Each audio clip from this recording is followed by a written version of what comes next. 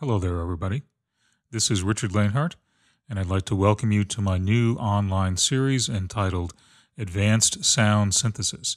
And this is a follow up to my original online series entitled Analog Synthesis for a Digital World, in which we covered many of the basics of analog synthesis, and particularly as they apply to both classic electronic music and contemporary electronic music but we didn't have a chance to cover several different topics in there that I wanted to get to.